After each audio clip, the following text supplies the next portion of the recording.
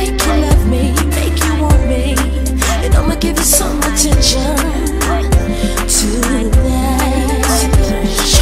Follow my intuitions, what you? See, I'ma keep you up all night for a long time. Start. Break me off, show me what you I don't want no one minute. Break me off, show me what you cause I don't.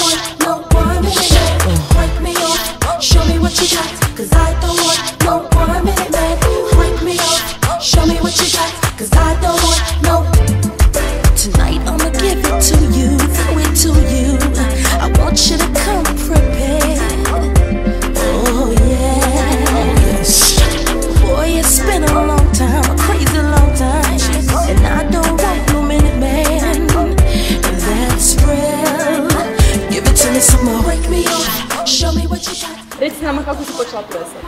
A, pa pošto je to bilo davno, e, m, tad nije bilo interneta, nije bilo e, načina kako naći neki plesni klub, bilo je stvarno teško naći. Znači znala sam da nešto treba biti slično hip hopu, ali kažem, nije bilo youtube nisam znala kako nekom objasniti da to nije baš jazz dance koji je tad bio popularan. I u biti e, jedna moja prijateljica, Silvija, je bila prva breakerica u ono, Big Girl u Hrvatskoj.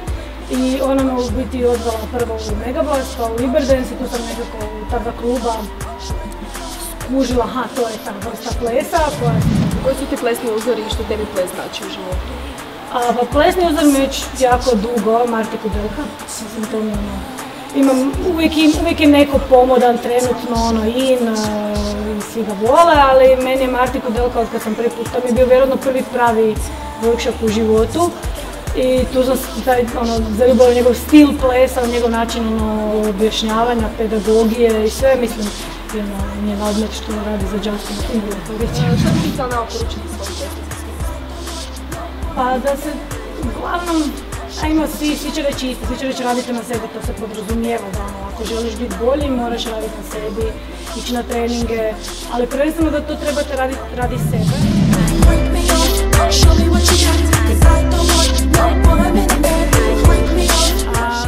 Transform Crew što ste me pozvali, bilo mi je super. A, bilo je jako vruće, ne samo fizički nego i u dvorani i ono, veselim se sljedećem pozivu.